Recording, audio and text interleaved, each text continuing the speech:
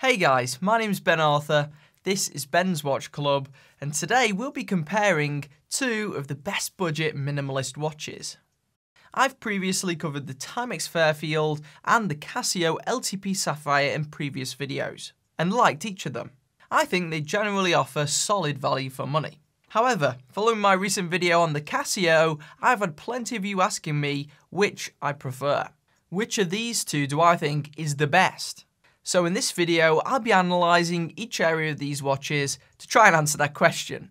And if you like the sound of these watches, I'll have them both linked in the video description. Purchases made through those links help to support the work that I do, so are massively appreciated. This one is a bit of a two-sided coin. It really depends what dimension you prefer and what size your wrist is. While both watches aren't particularly thick, the Casio is clearly thinner. At around 7mm in depth, it's just shy of two thirds the depth of the Timex. This puts it on a par with some of the slimmest watches that money can buy, and works well for a couple of reasons. Firstly, it helps the watch to slip under sleeves more easily. So if you've got a slim fitting shirt with narrow cuffs, you're not going to have any issues. Also, it tends to sit well on skinny wrists like mine. Proportionally, it looks great from a side-on perspective. The Casio Sapphire only comes in this 40mm model, which is generally a good size for average wrists. However, if you'd like more choice, that's where the Timex comes in.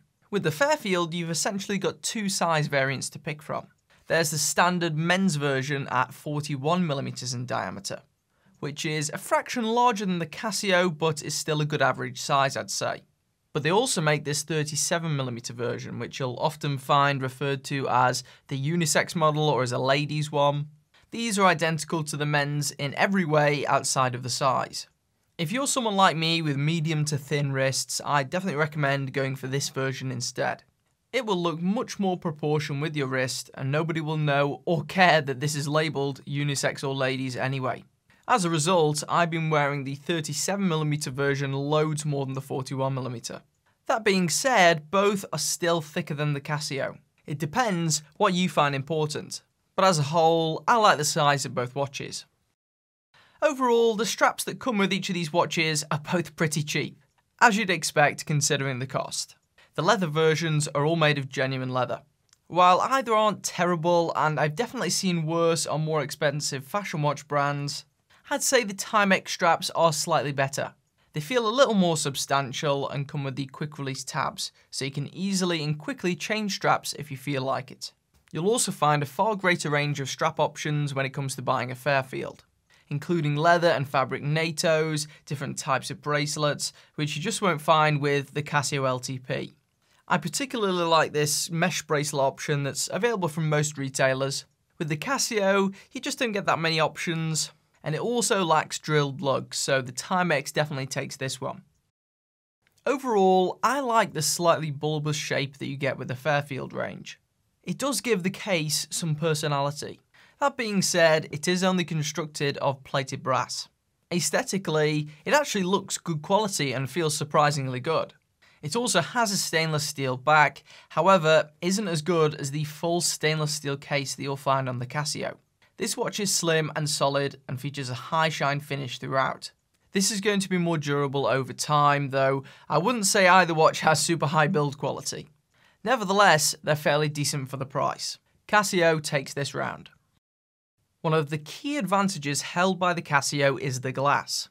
As their name indicates, these have a piece of flat sapphire crystal covering the dial.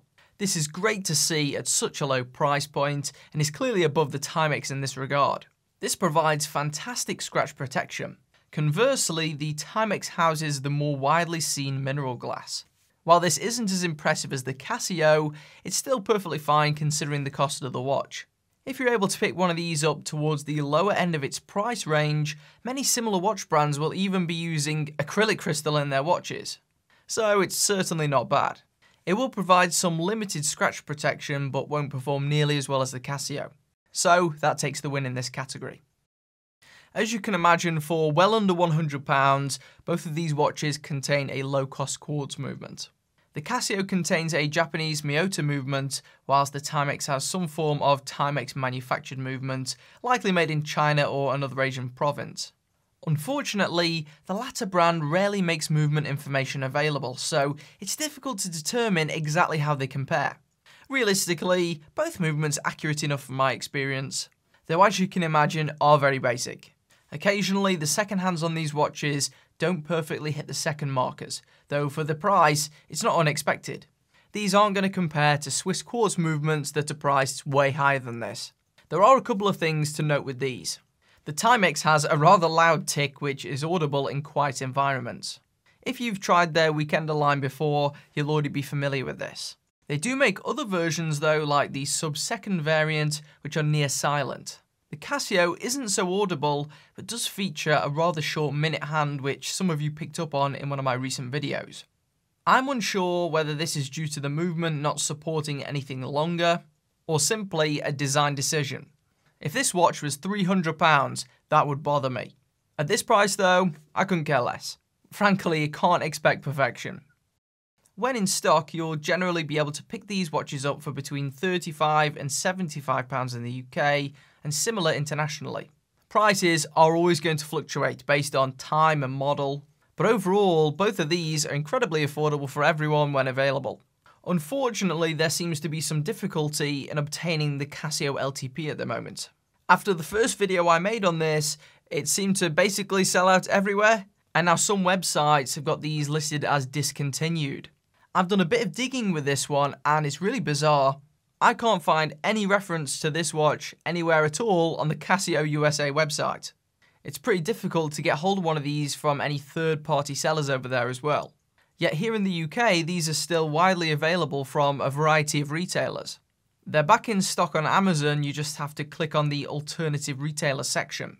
It's also listed normally on the Casio Europe website as part of their current lineup, rather than being in their dedicated discontinued section. So I'm unsure what to think. Maybe this watch was meant to be European exclusive in the first place, or maybe they're slowly phasing it out for whatever reason. It doesn't help that there is barely any information about this watch to begin with, and it's an example of one of the real frustrations that I have with traditional watch brands. There's no need to create messy confusion like this. That being said, if you get either of these watches for a good price, you're golden. The regular retail price of these is closer to £100. I really don't think you need to be spending that much on these. Both watches offer attractive, minimalist designs which are going to appeal to a lot of people. I found it difficult to determine which is my favourite. Overall, I'd say, looks wise, it's probably the Timex. It's slightly more original with its cylindrical hour markers and hands. I guess it's also more minimal without any sub-second hand. One of my favourite features is also the Indiglo nightlight. This is my favourite luminescence option and it's really unrivaled at this price. When you have a watch that utilises this, you'll end up using it a lot more than you think. I still really like the look of the LTP. I think it offers a closer aesthetic to that offered by many fashion watch brands at the moment. To some, that's going to be great because you get that fashionable look with better quality for less money. However, I can see how that resemblance might put people off. I think it's less original, but still looks good. Both of these brands have a good amount of horological history and reputation behind them. I'd say in this regard, it's up to you which you prefer. And I'd say the same when it comes to these two watches. I hate not providing a conclusive answer in a video like this. Honestly, I can't really choose between them. There's things I like and dislike about each. However, whichever of these you go for, I doubt you'd be disappointed. I'll have them both linked below if you want to pick one up. I'd say if there was anything that swung it for me, it was maybe receiving the 37mm variant of the Timex. If I had a slightly larger, more average sized wrist, maybe that wouldn't have changed things. Which do you prefer though? Let me know in the comments. If you want to support the work that I do on this channel, please consider supporting me on Patreon. There's a link to that in the video description. Subscribe for more watch videos, and I'll see you in the next one.